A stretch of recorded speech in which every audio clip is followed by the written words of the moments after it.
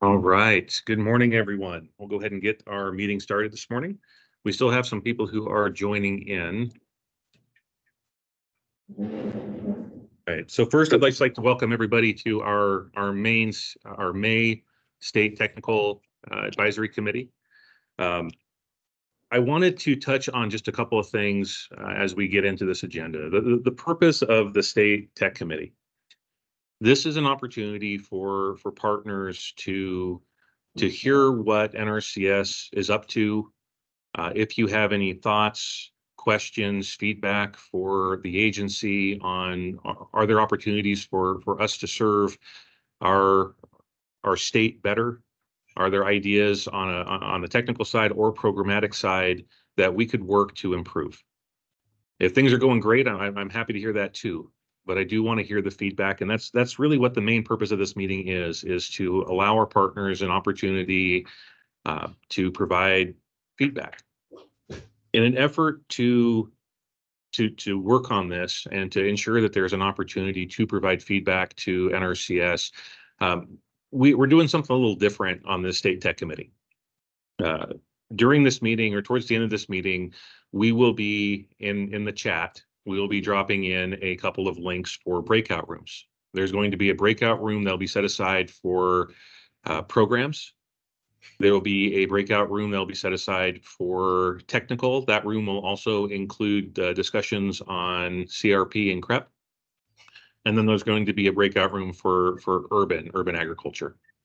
We will have uh, agency liaisons in each one of those rooms that should be there to be able to answer questions and record any feedback that you may want to um, provide. Uh, with the links being in the chat, and again, we will drop those in the chat here shortly. Um, you can you can move between the meetings if you'd like to. You just have to return to this main this main uh, meeting to in order to access those. But if you have any questions as we move through that, don't hesitate to ask. We're happy to try to help you get to the room that you want to get to. So we're going to start off with just our main agenda this morning, and then we'll move into those breakout sessions towards the end of the meeting. So for our agency, one of the major focuses that we have had over these last few months and we will have over the next few years is this Inflation Reduction Act funding. Uh, this is a once in a generation opportunity that NRCS has received that we can make good investments across South Dakota and the nation. We're trying to find different ways to make this work. And this is and, and the state tech committee is definitely one of those ways that we're looking at trying to get the feedback to make sure that we're investing those dollars in a wise way for South Dakota. We are also going to be working on improving our local working group process to make sure that we're getting more feedback at a local level to make sure that we are treating the resource concerns that matter across the state. In an effort to continue doing this, we are going to be looking at continuing and expanding opportunities for partners through our agreements. We'll be looking at opportunities to expand our staffing capacity right now for South Dakota, or, or, up until this point, we had a staffing cap of around 300 to 314 staff for NRCS. We are looking at expanding that number up to 340 to try to absorb and increase capacity to be able to deal with this increased workload. We all we are also going to be working on increasing our training across the state to our staff as well as partner staff to try to absorb this additional workload we have a significant backlog of work that this additional funding will help us reach. We are really excited about this opportunity, and I know that we're going to have the opportunity to actually get this on the ground over these next couple of years, especially with the help of our partners.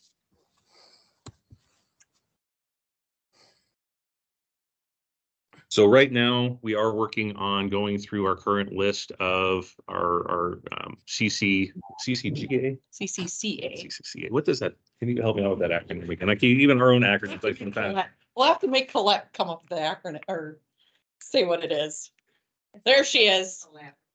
Good morning. So the CCCA is the Conservation Collaboration Cooperative Agreements, and that is the funding opportunity that we had for this year that closed last This week. and I'll give more report on, yep, I'll report more on that later. Thank you, Colette. So there's going to be more opportunities through things like the CCCA. Uh, we are going to be going out with an announcement for our Conservation Innovation Grants, or CIGs. We'll be going out here shortly. We're going to have a little shorter window on those. We're going to open it for a 30-day um, opportunity. So you should be seeing that here shortly. Um, but there are going to be continued opportunities as we move through these next couple of years, especially as we start working on um, getting started with our strategic plan. And the national office has been putting a lot of emphasis on our roadmap to success on getting these these IRA dollars out the door. Uh, we are working on getting a contract put together right now for our strategic plan. Once that contract is in place, we will be holding three listening sessions across the state. The locations are still, we're working on, on final locations for all three of those uh, partner meetings. Uh, but the idea behind it is we want, again, to hear from our partners across the state to help drive where is NRCS going over these next few years. Our strategic plan will be a five-year plan. So that's what we're looking for. And we, we definitely need your input NRCS is a locally led agency and we need the feedback from our partners to help ensure that that's what's happening. So I'm going to go ahead and open this the the floor up. Um, I, I saw uh, Rebecca. Do you do you want to step in and, and say anything on on the senator's behalf? Uh, hi everyone. Uh, looking forward to the breakout sessions. Actually, I think that's a really neat idea, so I'm I'm excited for that. Um, but uh, right now in DC, uh, we're just awaiting to see what's going to happen with the debt ceiling. Uh, Senator Rounds has been really busy with uh, banking hearings uh, this week in that realm, and um, also just kind of tracking uh, the CBO score and what's going to be happening with um, the Farm Bill with regards to the, the spending. So, um, looking at all of that and, and, diving into that, but nothing of uh, real deal detail at this time. Thank you so much, Rebecca. Thank you for attending and thank you for that report. Um, do we have anybody on from Senator Thune or Representative Johnson's staff?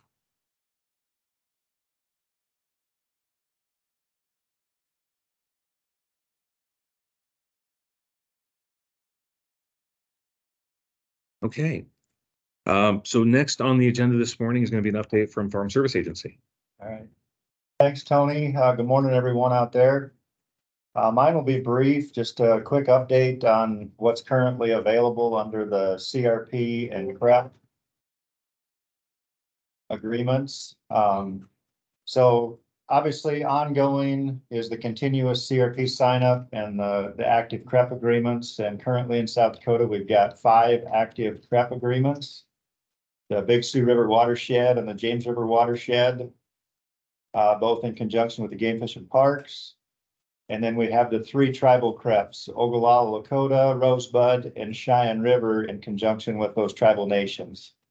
Uh, so all those signups are currently going on, uh, accepting offers and working with NRCS to get plans and, and contracts in place.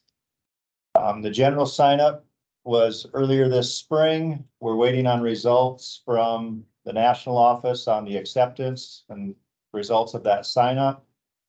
And the other active signup we have is the Grassland CRP. And that signup concludes May twenty-sixth.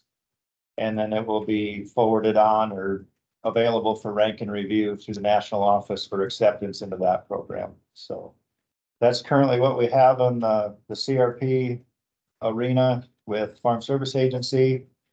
And uh, I guess I'd field any questions if there are any. All right, so any, any questions for Owen? Uh, I'll remind everybody, uh, Owen will be a part of these breakout sessions, uh, later on in this meeting. If you have any specific, if you have any specific CRP or, or CREP related questions that pop up later, um, he'll be in the technical breakout room. Thank you. Thank you, Owen. Uh, Kent is next on the agenda with a soil health update. Hi, good morning, everyone. Am I coming through okay, Tony? Yes, you are. Okay, so I'm going to be relatively brief um, here this morning. There's a busy agenda and then um, with some uh, really good breakout sessions that we'll have at the end.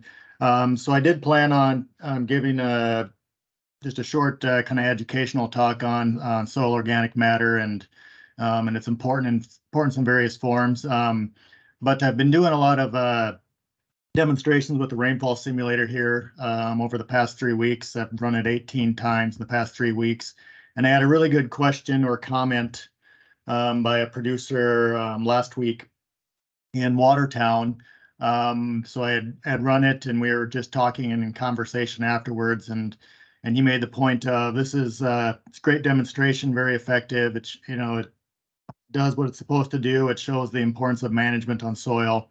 Um, and and he made a comment that I, I've heard in the past and I've had thoughts on in the past, but basically said he said, now what? He goes, even if I want to change uh, my management, you know, these these demonstrations are great, but what's the next steps? And so um, that got me thinking, and we had a great conversation afterwards. But um, we have a we have a great opportunity here south of Huron with a couple of demonstration farms, and one of them is the is the Dale Demonstration Farm with the Beadle Conservation District and in association with Ducks Unlimited. And a lot of work's gone into into acquiring that land and you know just kind of getting up and running, and we can say that we're starting to do that effectively. Um, but you know now the the point of that demonstration farm is to do exactly what that producer was asking for and that is to demonstrate soil health practices. How do we, uh, how do you set up equipment? How do you, how do you adjust your rotations? How do you, uh, how do you interseed? How do you put cover crops in, in, in short time frames? And so um, I'm just making everyone aware that um, we've got this, this Dale demonstration farm and the Cane Creek uh, demonstration farm, which has been in existence for, for a little bit longer, a couple decades. Um, there was a handout, uh, hopefully that you all got, and it showed uh, basically a set of soil tests that we're going to be doing on this farm. And it was pull it up real, real quick, and hopefully that's coming through. So this is a project that we're going to be doing multi-year on the Dale demonstration farm. It's basically going to track soil health properties and how they changed going from a conventional system into uh, the soil health implemented system that we're that we're adopting out there. And so look through these. I'm not going to go through each and every one of these. Um, I'll thank I thank Lance Gunderson from um, Regen Ag Labs for helping me with um, kind of breaking down these tests and making them understandable for even even the most lay of lay person.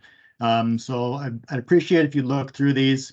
If you have any comments, certainly email me or contact me by phone um, or if there's tests on here that um, or that are not on here that you would like to see. Um, in association with this project, we will also be uh, collecting agronomic management data, economic uh, yield data, infield assessments. Um, we've got some salinity restoration projects going on out there. So there's a lot of interesting data that we're going to be collecting over the years. Um, we do have a tour that is, or a field day going to be set up on um, Wednesday, July 12th. And so that'll be our next one coming up. And then we're working really hard to get some uh, tours and um, things set up during the state fair. So maybe we can reach some people all throughout the state while they're in Huron. Um, so with that, I will stop sharing my screen and I will turn it back to you, Tony. Thank you for everyone's time. All right, thank you so much, Kent. Our next uh, agenda item is partnerships with Colette.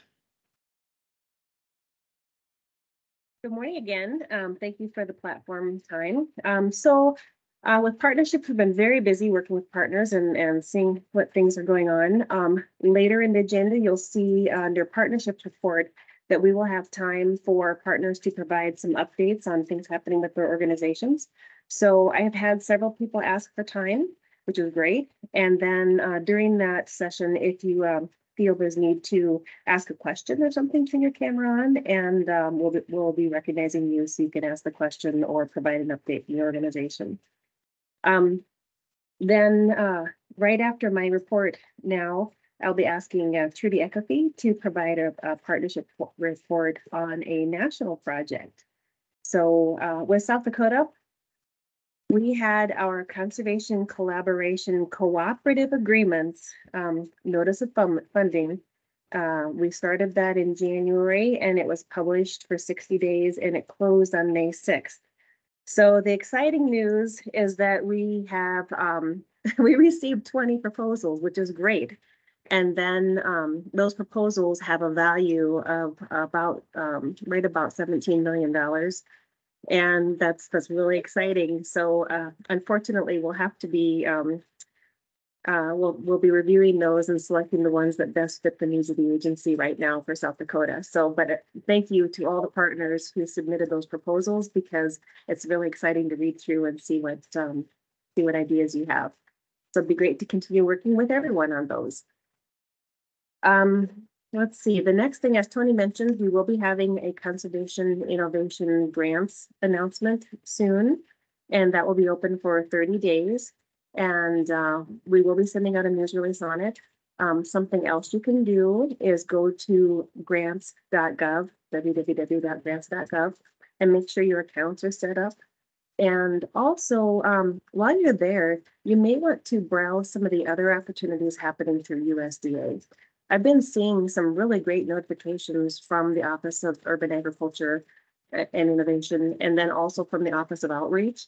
So there's definitely some opportunities there that would be um, outside of our state um, announcements that you may be interested in and could qualify for. Um, anyway, just thought I'd mention that too. So, okay, uh, any questions on grants and agreements for South Dakota NRCS?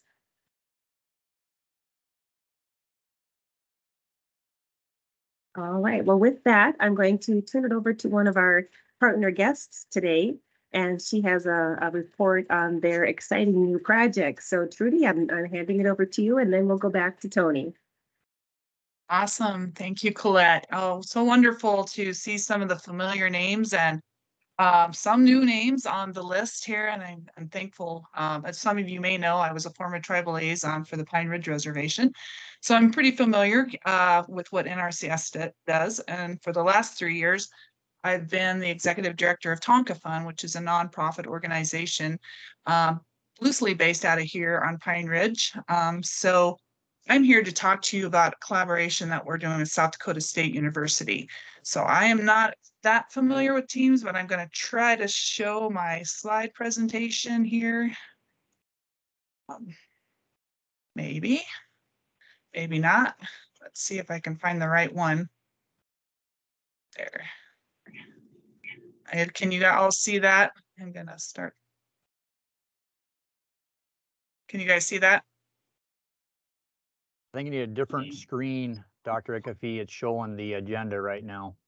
Okay, let me see here. Let me try that again. Sorry about that, Alex. And I'm not that familiar with stop sharing. Stop sharing and see if I can pull this up.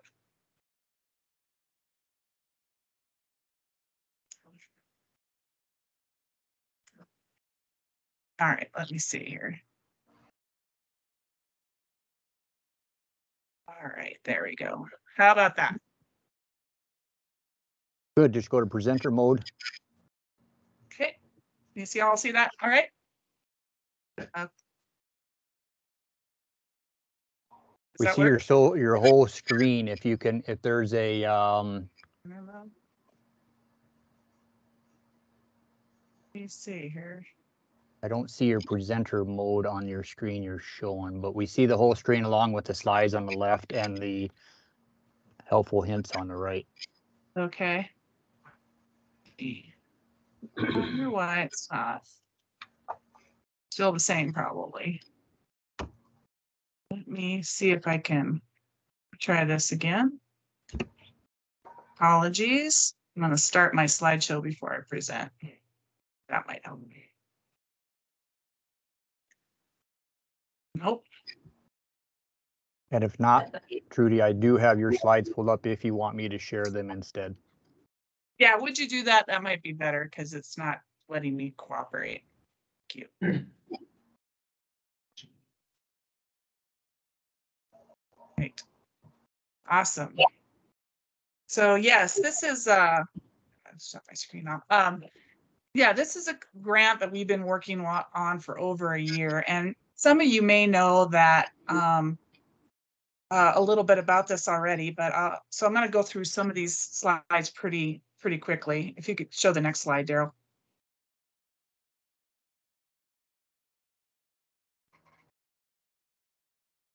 So I, a little bit, just a little bit more about us, Tanka Fund. We um, roughly have been in existence for six years. We are a nonprofit. And our primary goal is to support the reintroduction of buffalo or bison to the lands, lives, and economy of Native people. Um, our, our sister organization is uh, the Native American Natural Foods, which is um, Tanka Bar. And we also are um, providing assistance through a program called TRACK. Um, so a little over, well, I would have to say we've been working on this grant with SDSU for about a, a year and a half. Um, it is a USDA NRCS Climate Smart Commodities Program. Um, it is an eighty million dollar grant that SDSU um, is uh, been awarded over five years. Um, Tanka Fund is a small part of that. We're receiving about a million dollars a year to support this program. It's one of three that were very um, uh, in the US that was awarded here. Next slide, Daryl. So I'm not gonna t- t- talk too long about this. This is actually a slide um, that um, Dr. Jeff Martin from SDSU, some of these slides are his, so I'm gonna give credit at the bottom to him for those. But it kind of just explains, you know, what we were thinking on lines, you know, as we support producers um, in this area. Uh, Next slide. I don't think I have to talk to you, the crowd of NRCS folks, about what what uh, what goals and accomplishments that NRCS um, wants to do. But this program, this grant is going to do the project overview is first incentive for producers. And then the second piece of it is the research. And then the third piece is the market development.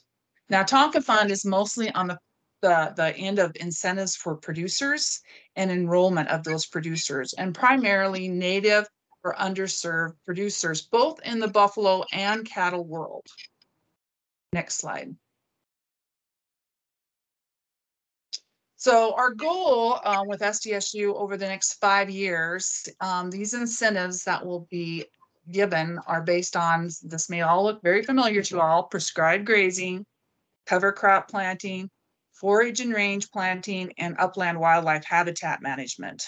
Um, our goal is to look at at least thirty percent of the funding going to historically underserved producers. Um, and it should, over time, we're looking at eight hundred and fifty producers, and this, and I'll show a slide later on that it's not just about South Dakota producers. It's a larger range than that, but we're looking at probably fifty percent of those coming from uh, South Dakota. Looking at over the next five years, three point nine million acres, over twenty-four million dollars in incentives, and then roughly twenty-two million dollars, um, hopefully down the road for the commodities um, that will be part of this. Um, the next part is what we're looking at. Aren't we all looking at this? Is the carbon sequestration um, the, the communities. So all the ranches that we will be enrolling will do soil sampling on. Next slide.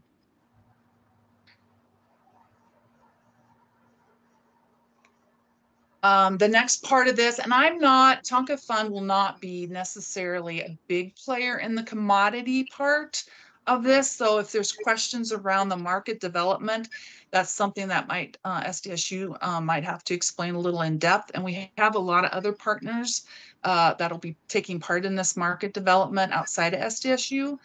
Um, so I can't explain to you a lot about what that looks like right now, other than that we're hoping animals that are enrolled in this, um, program will be receiving premiums.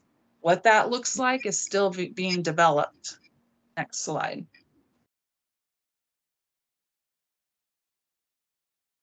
So the partners' roles, these are some of the partners. AgSpire will be helping enrolling the partners, Tanka Fund, SDSU Extension, um, and the Center of Bison Excellence and Millborn Seeds. Uh, Millborn Seeds will be primarily responsible for some of the, the uh, plantings. And then the next partner role will be um, basically in the, the research, though Tanka Fund and other folks will have some kind of, you know, technical assistance and working with the producers that we've enrolled in a deeper scientific um, background.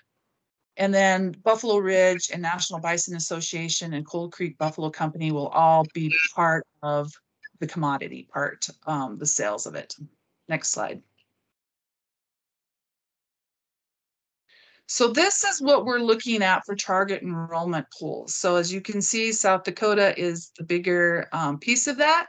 Um, basically looking at the northern Great Plains and of course grasslands. This is mostly affecting uh, grasslands. I do know that the other two USDA NRC um, grants that were awarded, um, you know, we're looking more at the cropland pieces of that, how that affects South Dakota, I'm not entirely sure. We all are also working with some of the grasslands and places down in uh, the southeast. Next slide.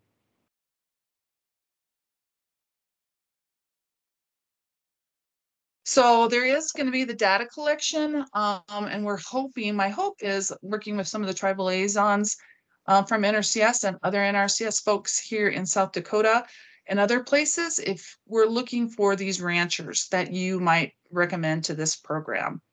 There'll be the average rancher, basically very, um, you know, working with them on grazing, uh, prescribed grazing plans, um, different types of seeding and that kind of thing. And then there'll be the research rancher, which will be a lot more in depth. So if you know of folks that might fit this bill that are, um, send them our way, uh, at least the, the, the, the native producers or the underserved producers, you can send toward Tanka Fund and some of the uh, other ranchers to SDSU. There'll be a lot more information coming out about this as well as we develop. We're looking at a big media splash. So the average rancher basically will be doing some mapping, you know, doing some monitoring and some soil and carbon data. Next slide.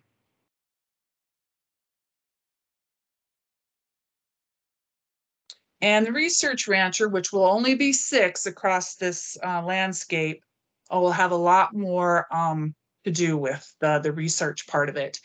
Um, those will probably be somewhat handpicked.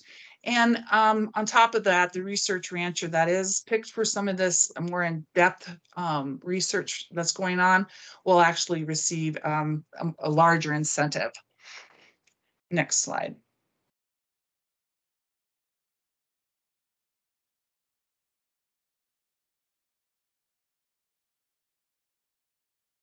So basically, um, you know, it's, this looks very familiar to CSP to me. Obviously, maybe with a little less um, uh, paperwork in terms of getting selected and that kind of thing. Um, but it looks very similar to me. Um, I, so I, I don't, I think one of the things when I was talking with SDSU, we want to be in partnership, obviously, with the local NRCS offices and that kind of thing um, and work on the same team. So that's why I really am glad that I could speak about this today, and at least get the, the thought process rolling on, on what that looks like. Next slide.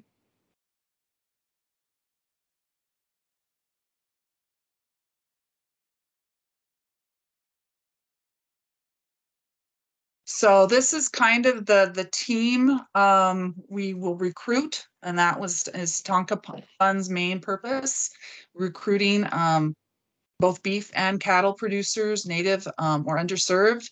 Um, we will assess, you know, the, the area. We'll look at the practices. We'll get them enrolled. Um, and then the monitoring and the verifying will, will continue. So it's, it again, looks very, very uh, much like uh, CSP. Um, but maybe this is, can be just a little bit different and we'll work in collaborations with that. Next slide.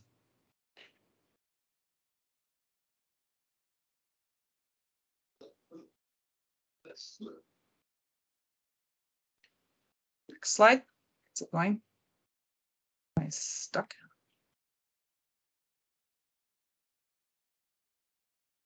So there may be more questions than um than uh than answers that I have today.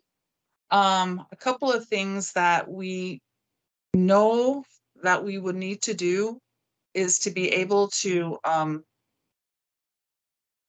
these these funds have to be not uh already enrolled in an NRCS um program which I would guess would look like CSP or CRP. Um, they have to be outside of that, otherwise, um, EQIP, I'm not sure. Uh, we're getting more clarification on that. As long as that prac- EQIP practice is not something that, um, is, you know, being enrolled in this, this plate, uh, in this factor.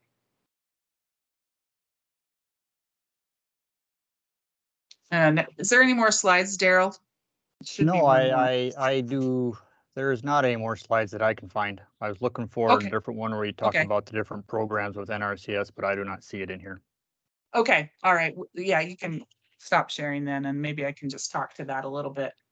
Um, one of the things that will be required, and I'll, is a couple of things. Um. Of folks that'll be enrolling in this program is they will have to still go through the USDA program database.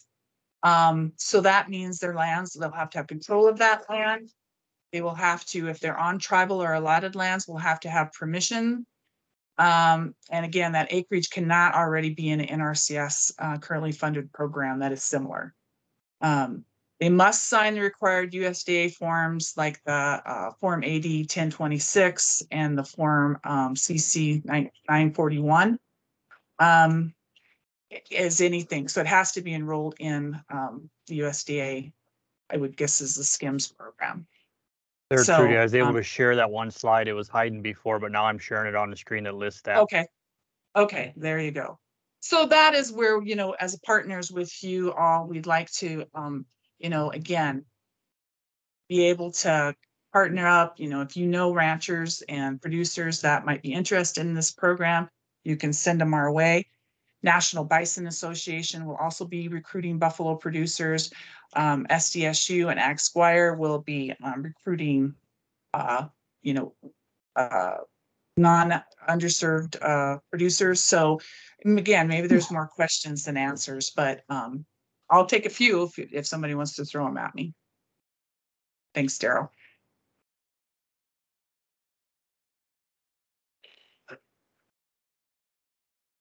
Thanks, Daryl, for operating that for us. And thank you very much, Trudy, for your report. And we look forward to working with you. And this is, this is a really exciting time for our ag producers. So, and we'll do our best to help you um, find those ranchers. And I was going to ask if you would mind, please, to put your contact information in the chat. And then um, any of the people attending can grab that off for contacting you directly. So, and then we'll watch for your um, news releases and such. So Thank you. Thank you. you bet. All right. Okay, so I'm going to um conclude the um grants and agreements update right now. And then I will um turn it to Jeff Vanderwilt for the programs update, and I'll come back to our partners in um in a few minutes in the partnership report section of this meeting. So thank you.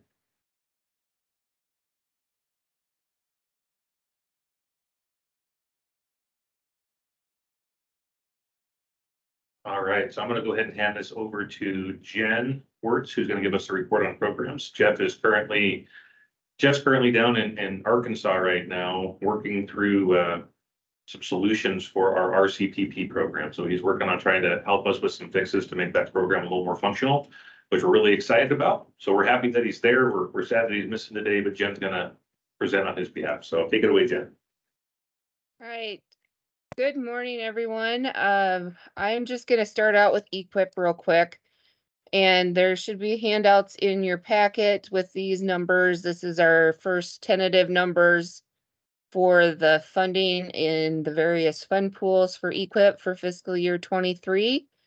Um, I'm not gonna spend a ton of time going through each of these. Uh, there's a lot of numbers on here, so I'll let you guys take time to, to read through it. Please reach out to me if you have questions. Uh, we are not done funding at this time. Um, there's, there's still several of our CIS projects on this, this page of the handout with the TBD on there. Those are projects that are still getting applications ranking and we'll make funding selections on them, um, hopefully in the near future. So for, for EQIP, we're moving forward. Um, and then I'm going to just spend a little time here on IRA before we go into CSP, since I'm, I'm visiting right now with you. Um, I know we've talked a lot about the Inflation Reduction Act or IRA and the climate smart or climate mitigation uh, and, and carbon sequestration. That is what we're going to focus on in some of the breakout rooms and how we can get prepared to utilize the additional funds coming to South Dakota. Uh, so, um, just as kind of some expected numbers coming forward. This is for the nation, not, not just South Dakota, but eight point four billion in EQIP, four point nine billion in RCPP. Uh, three point two in CSP, one point four in ACEP. And a billion dollars in technical assistance, and, and that is just, it's an awesome opportunity for our agency to to really help our producers in getting additional conservation out there. Um, most of you have probably seen the list, and I will share this list in more detail in the program's breakout room, uh, as well of the practices that are designated as climate smart or that climate mitigation practice uh, that we can utilize the IRA funding for. And then just going forward off of that, um, we can also use facilitating practices to to manage uh, and implement that mitigation for climate. And these are just an example of some some potential pairings of uh, the the IRA designated practice, which would be here conservation crop rotation. Uh, cover crops actually is another IRA, but we could do um, irrigation water management to support that crop rotation or the pest management conservation systems uh, or what used to be integrated pest management. Those could all be facilitating practices to support the IRA practices. Um, prescribed grazing is is going to be a big one too across the state uh, of being the mitigation practice, but to support that surprise, so, excuse me, support that prescribed grazing system, we can utilize the watering facility, pipeline, fence, um, if we need a structure for for wildlife or for excuse me for livestock, um, which would be a fabricated windbreak we could utilize them as facilitating practices through that money as well. And this, this slide just kind of goes into the, that systems for multiple different benefits of, yeah, we are, you're, you know, we're targeting to the climate smart, that carbon sequestration, but there is other benefits to those systems, which we all know, we are all conservation minded on this call. Um, so we're gonna be do, be able to do some more, more, uh, wildlife benefits to different habitats, um, through that. Or, you know, just what, what, uh, Dr. Eff- Ecoffey had talked about of, of getting livestock producers out there, um, and utilizing prescribed grazing. Uh, just a quick very quick overview of some of the IRA strategies in South Dakota. Um, for EQIP in fiscal year twenty-three, the, our EQIP ad hoc committee um, decided to target based on primary land use for the funds that we received in twenty-three. So if the, the majority of the lands in an application was cropland, we would target that towards cropland. Um, again, if it was grazing lands, we target towards the grazing lands. And that just helped to spread some of the funding across the different primary land uses. Also through EQIP um, and this is another point we'll get uh, into in the breakout rooms. Um, we are piloting what is in our uh, policy through the Farm Bill eighteen called Act Now, which is supposed to be a more streamlined process for obligating contracts. So we haven't haven't used it much as an agency. And we haven't used it at all yet in South Dakota, so this is our first, first time out of the gate with that process. Uh, we have two different resource units, one in the, the Pierre area, one in the Brookings area that are piloting the Act Now process. Um, so hopefully we can utilize that moving forward in twenty-three to to have some more expedited funding opportunities. Uh, CSP and Val uh, Duprez is going to present on CSP a little more here in a minute. But uh, for IRA funding, we targeted towards the resource units and also beginning farmer and socially disadvantaged. RCPP is targeting on the, the proposal level for climate mitigation. And I didn't get the, this added into the slide yet, but ACEP is also having a national sign up. Um, and then we will, we can have applications into that national sign up and Brandon will be talking about that later on as well. Um, and we also in our breakout room going forward, we're gonna be looking for different ways to utilize our partnerships and help to bring those opportunities to the producers. Um, let's see, I need to try to, that was all I was gonna share on this PowerPoint at this time. I need to just be able to end it. All right. Any questions? I know I was brief here, but I know we're going to be um, dealing with more of this in the program breakout room later on as well.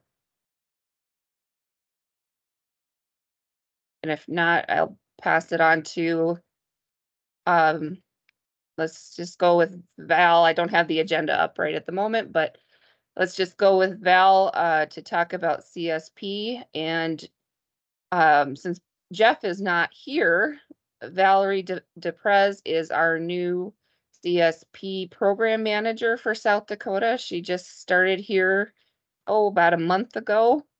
Um, taking over for Joyce Trevithick, who was the, the manager before that. So I'll pass it to you, Val. Thank you. All right, thank you, Jen. Um, yeah, I'm Val DuPreez. I've been on the job about a month. Uh, this is my first state tech committee with you, so I'm, it's a pleasure to be here. I am going to provide kind of an overview of, uh, CSP kind of on a, an annual basis. So, um, for this year, we processed a lot of payments. Um, that's just our normal process that we go through. Um, we'll start uh, processing payments in October, and our goal is to be completed by March. So we've had a few snafus, got a few pay- payments hanging out there yet that we're still working on. But uh, for the most part, payments are pretty well wrapped up. Uh, we paid on over twelve hundred contracts and uh, two point six million acres. Uh, We paid out about thirty-six and a half million dollars uh, for activities that were completed in fiscal year twenty twenty-two. Uh, we rolled into our twenty twenty-three renewals and general signups. Our renewals were obligated by the end of December. Um, and our general signups we're still obligating now, but we're getting close to wrapping them up. So, uh, coming into the year, we had nine hundred and eighty-four applications that uh, were deferred or rolled over to this year. Um, and we were able to fund eighty-five renewal applications uh, across two hundred and thirty-four thousand acres with uh, pretty close to eleven million dollars. So um, of those nearly eleven million dollars, we had more than twenty percent of those dollars going to historically underserved participants. That's beginning farmer and or socially disadvantaged applicants.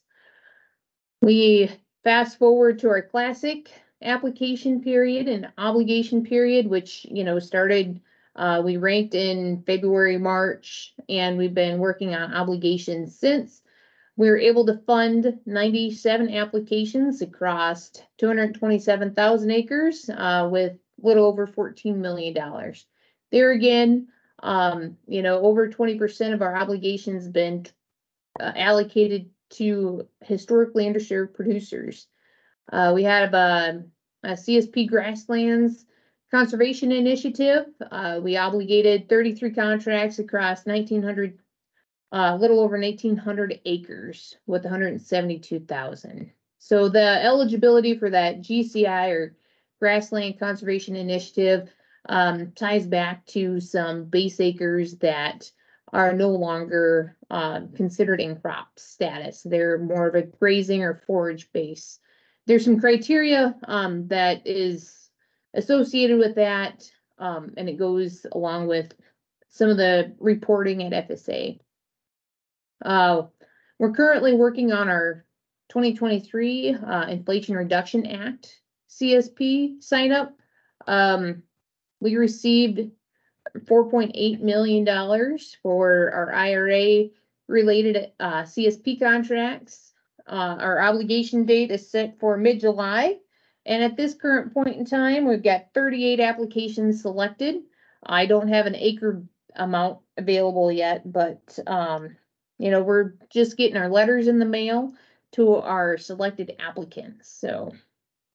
Um, you know, looking forward to this next quarter, we're gonna be looking at our twenty twenty-four renewal applications. So we have our fiscal year twenty nineteen CSP contracts expiring at the end of the calendar year and they're eligible for renewal. We have about two hundred and forty-five contracts covering seven hundred and thirteen thousand acres. Our sign up date was April twenty-eighth. I don't have a final number on the number of applications and we don't have our allocation um yet. So more information to come on that. Thank you.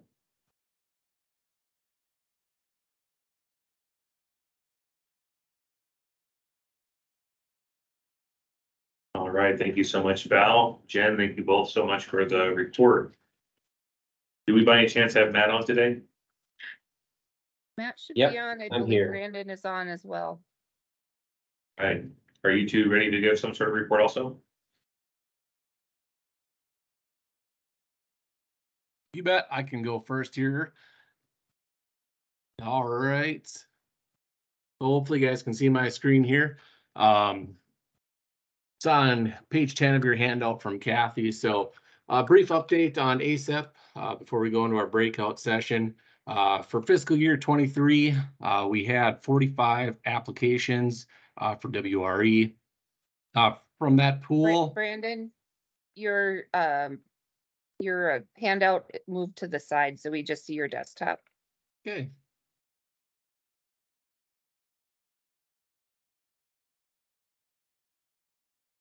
There you go. All right. Uh, from that, like I said, we had forty-five applications. Uh, we did have enough funding to select eight of those, uh, which covers about eight hundred and seventeen acres for pretty close to three point three million.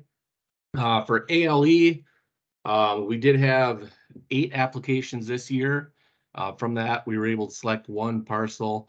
It's just a hair under a thousand acres. Uh, so we're moving through the process with our acquisition process for all the easements. Uh, regarding IRA, I'll get into more detail in the breakout section, but um, in a general overview, all of the applications that were not selected for funding uh, in the normal farm bill were all turned over and also ran through the system for IRA. So that's roughly thirty some some change for WRE, and then uh, we did have an additional one for IRA for ALE, so we submitted nine um, applications for the ALE funding. Um, as Jen mentioned briefly earlier, that is a national sign up. Uh, so we as the state are not making those selections. Those are being handled by our EPD uh, team. Um, from the follow-up information I got yesterday is those selections are not made at this time. Um, they are currently being routed through the EPD leadership for their selection. So uh, we're getting a little late in the time frame uh, when it comes to easements and the acquisition process. So uh, like his fingers crossed that gets handled soon so we can wrap up. So we'll cover a little bit more of that uh, in our breakout session and I'll hand it over to Matt next for RCPP. All right, morning, everybody.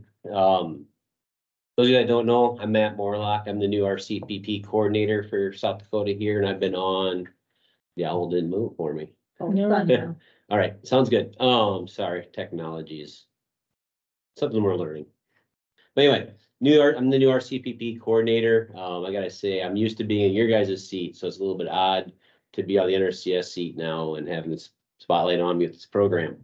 But, um, we're excited. There's a lot coming up and going on with RCPP, but we haven't given an update in a long time on this program. So what I thought I'd do is kind of walk through the eight active contract or programs we have going on right now. Um, to kind of give you guys a brief update on each one of those. Um, and the first one we have is the Big Sioux project, um, which is one of our most long-lasting projects, that's been going on for quite a while. Currently, we, we've got thirteen producer contracts that are in the obligation phase. Um, so we're gonna be funding about hundred seventy-one thousand dollars through that project. Um, it's been, we're getting close to closing out that. We've about have all the funds obligated with that program. Um, we'll probably be holding one more batching period um, through the RCPP with Big Sioux. Um, of note with that is they're pretty evenly distributed in the watershed, um, with Lincoln County, Minnehaha, Deuel and Union all have contracts going on through that, this sign up. Um, the next project, we have the Northeast Glacial Lakes Program. Um, this is a new one. They had their first batching period, which closed a couple months ago. And which is typical with a new one. Um, there was one project that's been moved to the obligation phase. Um, we typically start out small and get the kinks worked out. And they'll be, um, setting up a new batching period soon, um, to open it up for applications again. And we'll expect a bigger sign up this next time with that project. Um, WWF has a building ranch resiliency, uh, project going on that's active all of western South Dakota and then ten counties in Ne- Nebraska as well. Um, that project is currently open for sign up, um, and it is open through June first. So any partners out there working West River, if you know producers that are looking to do some grazing land improvement, um, and being connected with the larger ranching community, um, to talk about issues and, and resiliency, um, there's an opportunity going on right now. Um, so I'd encourage you guys to, any producers that you think are interested in it, talk to them about going to the field offices, um, and signing up an application for this project, because it's a good opportunity. Um, there's about a million dollars available through that project. Um, so there's plenty of opportunity to do some grazing work out West River there. Um, the next project we have, um, that's active is the conservation easements in the Black Hills through South Dakota Ag Land Trust. Um, we finalized the programmatic partnership agreement, which was a big step. Um, getting that signed and agreed to, uh, takes quite a bit of time. So now we're moving on with that one into the supplemental agreement phase. Um, so shortly we'll be able to take, you know, the South Dakota Ag Land Trust will be able to, uh, enroll a couple easements in the Black Hills. Um, it's really focusing on development pressure that's going on in the hills right now. Um, so be, uh, be looking for more updates on that program soon. Um, the, the, the fifth one I want to talk about is the Lewis and Clark and Lower James Water Quality Project through the James River Watershed Development District. Um, this one, we're very close to also having a batching period come up because we're, we're just finalizing the last bit of ink on the supplemental agreement with NHQ on that one as well. So both that one and the previous one, we're, we're close to being able to sign up producers. Um, and we're excited to get those active and going because I know there's a lot of backed up interest in both those programs. I do have to apologize under this RCPP Classic slide. There is one project that I, I sent an, an old draft to Kathy, um, that was left off, and that's the Belle Fourche River Watershed Project. Um, that one's also an older one that we have going on, and we're actually getting close to being able to close this one out. Um, the previous batching period, there was six contracts that moved on to the obligation phase that we're finalizing. And then we also have twenty new contracts that are going through ranking right now. Um, talking with, with the folks out there, they're looking at doing a second one, a second RCPP. So this project should be ongoing, but like I said, we're getting ready to close out this one. Um, the other two projects are both AFA projects, which stands for Alternative Funding Arrangements. I mean, these projects are, are a little different than the ones I talked about because they're more partner driven. Um, so our NRCS doesn't have as big of a role in them. Um, but they're exciting, um, exciting to us because they're, they're very innovative. Um, and the first one to talk about is scaling soil health in the prairie pothole region. This one's through Ducks Unlimited. Um, they have seventeen projects that are currently about ready to be contracted and ready to be, be awarded. Um, that was through their first batching window. Um, I, I talked to Bruce yesterday and it sounds like they're meeting this morning to go over several new project proposals. So that one's gonna be an ongoing sign up and very, very actively enrolling as the year goes, goes through. It's not gonna have a traditional hard batching window. Um, the last one we have right now active in the state is expanding soil health through carbon markets, which is through American Coalition of Ethanol.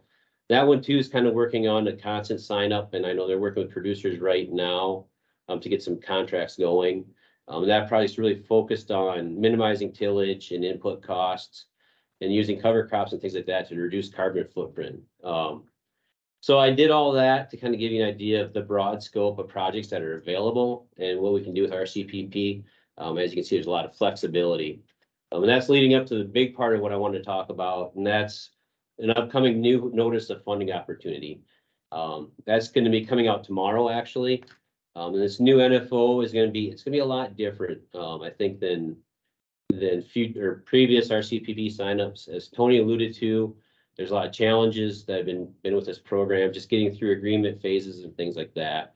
This new NFO is going to be addressing that, and I think it's going to be a lot, a lot different process. So, um, like I said, it's gonna be released tomorrow on the eighteenth, and there's gonna be upcoming trainings. Um, for our staff, NRCS staff, there's gonna be a May twenty-third training date, so I'll encourage everybody to hold off questions, um, until the twenty-third when we actually have a training. Um, but, you know, get through and read those, N that NFO that comes out tomorrow and start getting familiar with it. Um, but then on the twenty-third, we'll be having our training. There's gonna be partner trainings on May twenty-fourth and then on June seventh as well. And we'll be sending out notices to everybody on that, so that you know that they're coming up and make sure you take part in them. But, um, this go around with this NFO, funding's gonna be increased dramatically from what we've previously seen. Um, we're gonna have approximately five hundred this one, um, which is an increase of over two hundred million dollars, and that's because of IRA. Um, and this is kind of a sign of what's to come, so, um, there's gonna be a lot, lot more need for partners and a lot more opportunity for partners to grow RCPP, so, um, I'm gonna encourage everybody to take a strong look at, at this NFO and kind of get ready for, if, if not this one, future ones, because there's gonna be a ton of funding available coming forward. Um, the last thing I want to hit on, and then I'll turn it back over, is um, at the next state tech committee meeting, we're gonna be asking formally for partners that want to assist us in a review process of all the RCPP programs for the state. Um, this is new, this is a new step. Traditionally, the state hasn't had a partnership ranking process. Um, so that's gonna be coming. I wanted to get everybody to think about it because like I said, next state tech, we're gonna ask for people to formally volunteer to do this project. I mean, I think it's gonna be a good, great opportunity for folks that are gonna be considering about proposals in the future because it's gonna let you see what's going on and get a little bit of an inside look on it. So I'd really encourage partners out there to think about those opportunities and taking part in that review committee when it, when it comes out in September. That's all I have. Um, I'll turn it back to the, to the state office. Or to Jen, I don't know if Jenny had something too. You think somebody else had a, had something for programs, Matt? No, I think that's all, Tony. Okay. Unless there's Perfect. questions. Okay, Does anybody have any questions for the programs team?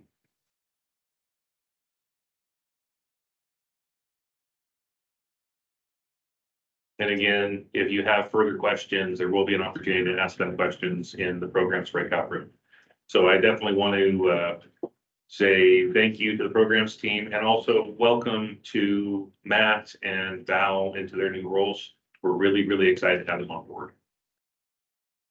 All right, so moving down the agenda, uh, we have Jess up with a technical update. Okay, good morning, everyone. Uh, Jessica Mahalski, State Resource Conservationist. Um, I'm, I'm gonna have a pretty brief update. Um, our staff is going to cover, um, some cha- any changes that we've made to practice standards and technical notes, um, both, uh, on the en- engineering side and ecological sciences side. Those will be covered in the technical breakout session. So if you want to know specifically um, what ha- changes have been made, um, here in April. uh, please join that session and that will be covered in that breakout session.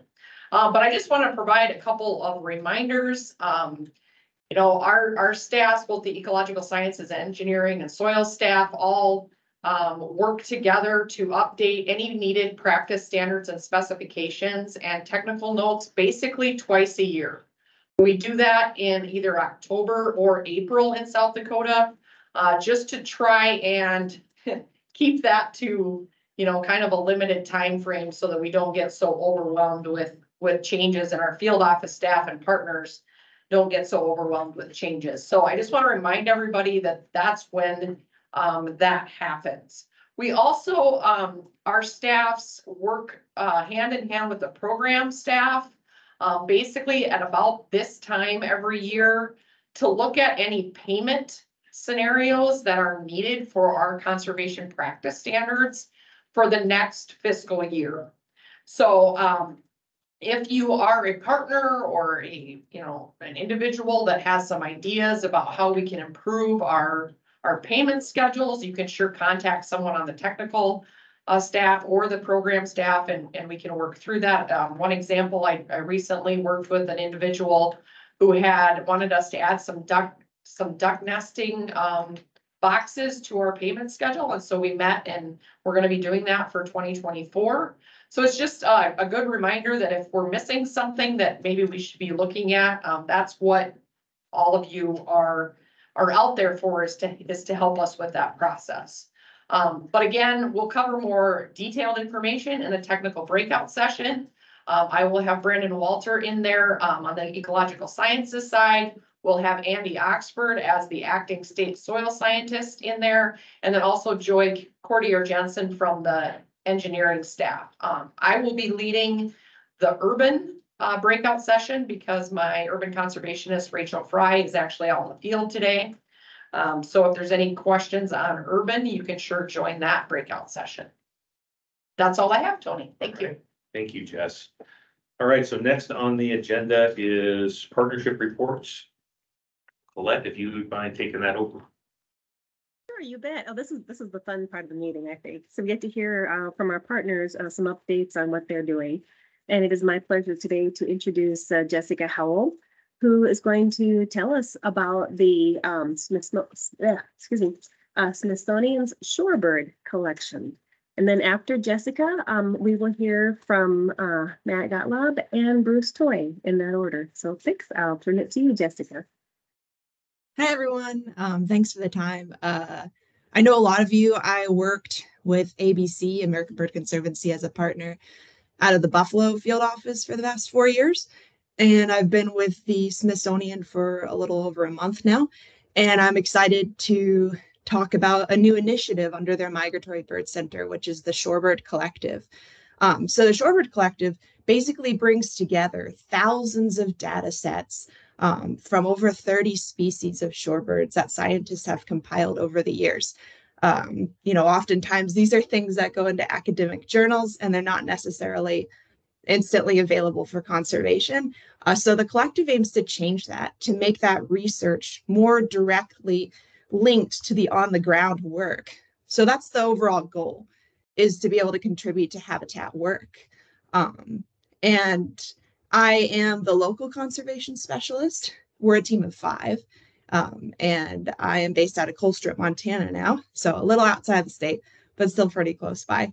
Um, and we're focusing on the prairie potholes and the northern Great Plains. I can show you exactly why here in a minute, uh, but uh, you know that kind of the why is shorebirds have declined, like unfortunately many other groups of birds. Often over 50% declines in the populations. Some species it's over 70%. Um, I think everyone thinks of shorebirds, you know, as kind of a habitat specialist group. Um, you know, the little birds that are on beaches. But what's really cool is they actually inhabit a really diverse array of habitats, um, including both the uplands on our rangelands, as well as wetlands that are on the rangelands or embedded in crop fields. And South Dakota hosts a number of breeding shorebird species, as well as migrating species, species that are just stopping here in the spring and fall maybe on the way to the Arctic maybe in Alaska, maybe even all the way up to Russia. Um, so it's pretty crazy how far some of these birds go. Um, there's a lot of management practices that are really relevant to them. They like the short to medium grass on rangelands, so they're part of a healthy grazing system. Uh, they like wetlands with a low amount of vegetation and a nice shoreline providing kind of some water that's less than four inches typically. So uh, I think there's a lot of connections with shorebirds between uh, grazing management, soil health, and then also erosion, uh, nutrient runoff, and sediment runoff, even. And a lot of those climate smart practices do pertain to shorebirds, from prescribed grazing to uh, wetland restoration, and you know the kind of uh, the practices that go along with all those. Um, so I wanted to share. Let's see if I can share this sc- screen here. Um, can you see the the PowerPoint I have here? Yes. Okay. Yeah, so this this is an overall map that shows um, those birds that have been tracked. It overlays everything. Um, and you can see that both when we're talking about the number of species and the number of individuals, um, the Dakotas, uh, Montana, everything in the Prairie Pothole region, Northern Great Plains really lights up, as well as the Gulf Coast. And that's kind of the connection there. Um, we haven't done a state report yet for South Dakota, but we're certainly interested in in doing these state reports. Uh, this is Wyoming's, and this is kind of a, I think just under a 250 square mile kind of grid uh, showing where you've got different individuals using areas. Um, so I think these kind of maps could perhaps be used for uh, projects and all. Let's see, I'll stop sharing the screen now.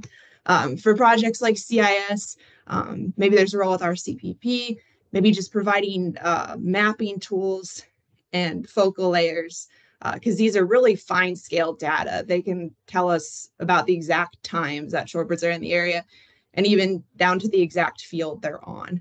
Um, so, you know, I've got some ideas. I'd love to brainstorm with people, looking forward to the breakout sessions. Um, and definitely, I'll drop my contact info in here. Reach out with any ideas. There's definitely an outreach component too, because I want producers to be aware that um, they're caring for the habitat not only for breeding shorebirds, but for shorebirds that are just, you know, passing through on their way to the Arctic, which is really cool. The kind of connections between um, the Northern Great Plains and many other parts of the world. So, but thank you for the time um, and listening. And yeah, I'll drop my contact info in the chat. Excellent. Thank you, Jessica. That is exciting and it's fun to hear the enthusiasm and we look forward to working with you. Thank you. I- Yes. Um, next, we will have a report from Matt with Pheasants Forever, please. All right, thanks for the opportunity. Yeah, uh, my name is Matt Gottlieb. I am the new state coordinator for Pheasants Forever here in South Dakota. Been on just over two weeks here, so I worked with a lot of you through my previous position as a range and wildlife conservationist out of Belle Fourche, working on the sage grouse initiative. So June would have been seven years in that position. So uh, really excited to take over the team of biologists here in the state. So um, they're still chipping away as usual. Um, talked with one of the seniors this morning. They said uh, uh, the update is kind of status quo, just chipping chipping away and moving forward. So do have a few more positions that'll be being um, either backfilled and uh, or filled uh, for the first time. So the Pierre position, uh, we're looking the week of Memorial Day for the biologists there to get started. And uh, we've transitioned the position from Faith to Wall and that biologist will be starting the 12th of June. And the Belfuse, excuse me, Belle Fourche position should be starting uh, about the same time, either the 12th or 19th. Um, working through a few things with all those positions, just kind of little um, intricacies of uh, little tricks with each of those. But uh, then the Falkton or Miller position that closes tomorrow. So uh, hopefully be doing interviews the following week and then hopefully getting somebody on by uh, middle to late June with those as well. So I'll drop my contact info in the chat as well. I uh, didn't have a whole lot and if folks got questions, they can either ask them now or follow up later on. Thanks for your time this morning. Thank you, Matt. Yes, it's great to be working with you and, and congratulations on your positions with the uh,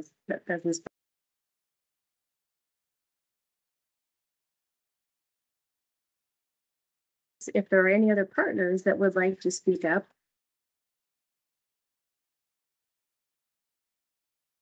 If, if you wanted to say a few words about what your organization is doing, just turn your camera on and, and we'll get you queued up. So Bruce, to you. Yeah, thanks Colette. Good morning, everybody. Uh, thanks for the opportunity to, to hop on here. Uh, as Matt mentioned earlier, we've been uh, pretty, pretty busy with uh, RCPP in Eastern South Dakota here. Uh, last uh, 2022, we had our first sign up. And over the past couple of months, we've uh, finally uh, um, signed up three uh, of those landowner agreements with RCPP, uh, looking to impact about 2,400 acres in Eastern South Dakota, uh, including restoring about 600 acres of marginal cropland back to grass. So we're pretty excited about that, and we have some pretty neat soil health management plans and a lot of grazing infrastructure to help with the with the livestock rotational grazing on those projects. Um, over the past couple of months, we had our second uh, second sign up and received about 17 applications uh, for RCPP, and we're in the process of kind of ranking those uh, to help fund that that next batch of of applicants in the next uh, next year or so. Uh, so that will uh, likely be wrapping up our South Dakota component of, of that RCPP process. Um, uh, as a reminder, it is a three-state proposal. Uh, North Dakota had their first sign up here this this past spring uh, too. Another project we have, uh, we were awarded uh, a grant with the Grazing Lands Conservation Initiative. Uh, don't have that grant agreement set forth yet, but uh, we're pretty excited about the opportunity there. Uh, really looking to try to help find uh, find ways to connect uh, you know livestock producers with uh, uh, some of those IRA dollars coming in the next couple of years and, and help help folks get some more uh, uh, watering facilities and, and fence and, help uh, help them manage the uh, grazing lands in eastern South Dakota there too. So pretty excited about that opportunity. Uh, and we do have a, a new biologist uh, on the team here, uh, Kenneth Hammonds, uh, out of out of the Sioux Falls area. Uh, they will be focusing on the kind of south central part of the state, which are which our staff has kind of been been missing over the past couple of years. So help kind of helping out, rounding out our conservation team. So we're excited to have Ken on board. But thanks for the opportunity here, Colette. You bet, and thank you. And again, it's, it's really fun to hear all the exciting things happening and partners working together for our farmers and ranchers. So at this time, I'm going to invite any questions for our partners for their reports. You can either um, open your mic or you can um, put something in the chat.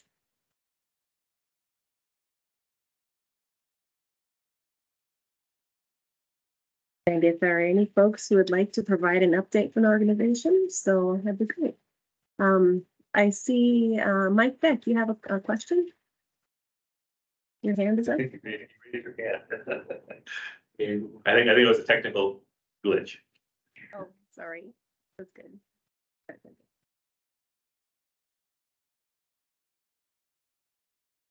All right, well, I, I thought I'd just check to see if any of our uh, partners with um, the closer partners, I do want to take a moment just to recognize um, in June, there'll be some events coming up.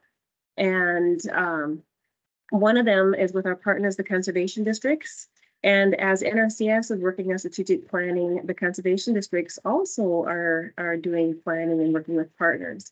So they will be having area meetings in June and the part of the, um, the point of those meetings is local um, roundtable discussions with partners. So please, please uh, connect with Angela if you don't have those dates and locations. And then that'll be an opportunity just for more, for, for collaboration and conversation about all these great projects and activities that are happening, but, but more so at the area and more locally level, local level for locally led conservation efforts. So, okay, I'll put that plug in. I guess if there aren't any other um, updates right now, I'll turn it back to you, Tony, so we can get started on the next, uh, next session. All right, thank you so much, Colette. And I, I failed earlier in the agenda to recognize our two sister agencies that are also on the call today. I saw that uh, Steve Dick uh, joined with Farm Service Agency. Uh, Steve, do you have any comments you'd like to make to this group?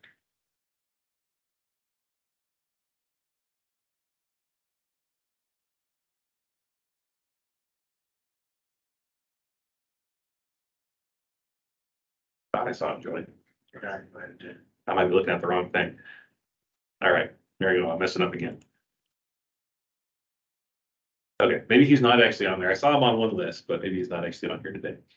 So I would like to go ahead and, and we, the last agenda item that we have is, is other. And I, I know that one person came up and wanted to just make at least one announcement, and Kathy, this is your opportunity to make your announcement. Can you hear me from here? Yes. Okay. Um, first of all, I would just like to announce that I am uh, retiring as of May thirty-first. So um, I just wanted to thank all of you for um, all the time that I have worked with you over the years.